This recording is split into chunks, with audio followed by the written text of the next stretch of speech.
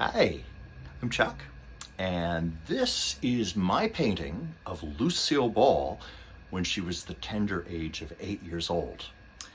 It is going to hang in her childhood home in Celeron, New York, right in the parlor, uh, right in the spot facing where she used to stand underneath a staircase, under a curtain rod, and she would perform for her family. And according to her younger brother, Freddie, who outlived her by a number of years, even at that age, her talent was remarkable.